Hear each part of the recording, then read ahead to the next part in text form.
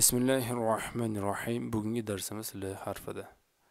Lotin tilidagi J harfi bor-ku, faqat e, qaranglar nuqtasi yo'q. Lotindagi J harfi mana faqat nuqtasi yo'q. Bu arab tilida L harfi bo'ladi. Mana bu alohida shakli so'z boshida, so'z o'rtasida, so'z oxirida bir xilla shuni e, alif bilan almashtirib yuborishadi. Alifni L qilib o'qishadi. Shuningga ahamiyat beramiz. L o'zidan keyingi qo'l beradi. Alif o'zidan keyingi qo'l bermaydi. Demak, o'zidan keyingi qo'l bermayaptimi?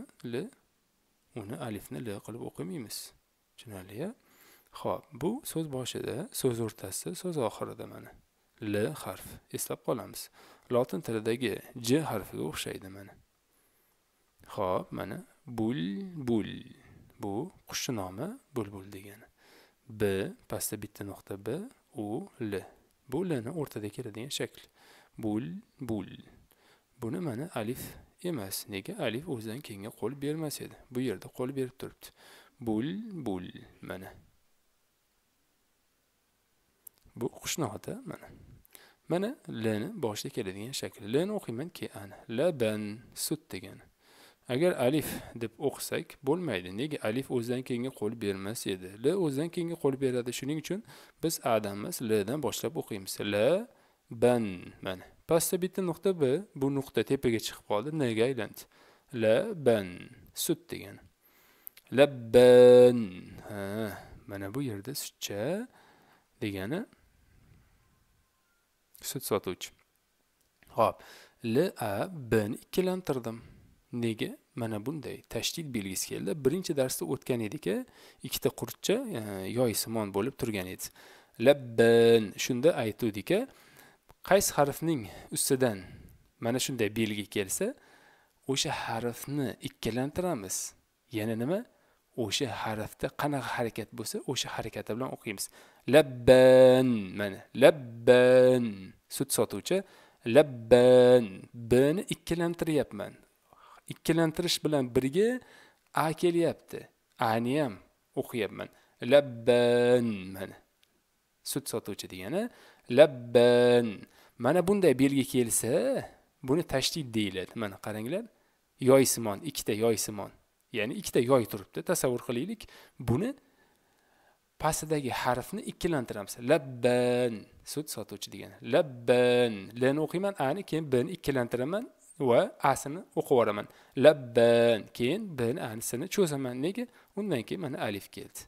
Mana bu yerda qaranglar. Alif o'zidan keyingi qo'l bermayapti lekin l o'zidan keyingi qo'l beryapti. Tushunarli shuning uchun adashtirib yubormaymiz. Lom harfiga alifni ulanishi mana. Mana bu l harfi mana bu alif. Sal qiyshaytirilgan lom harfiga. Tepasida a kelsa la qilib o'qiymiz. La mana la sekin mana chiroyli qilib qo'yibdilar. Boshi shakli ikkinchi shakli va mana uchinchi shakli. Ha tepasidan a kelsa la qilib o'qiymiz a ho'p la ban sut degani mana. La ban.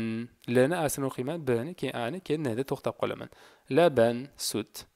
Labban sut sotuvchi. Labban sut sotuvchi. Bulbul.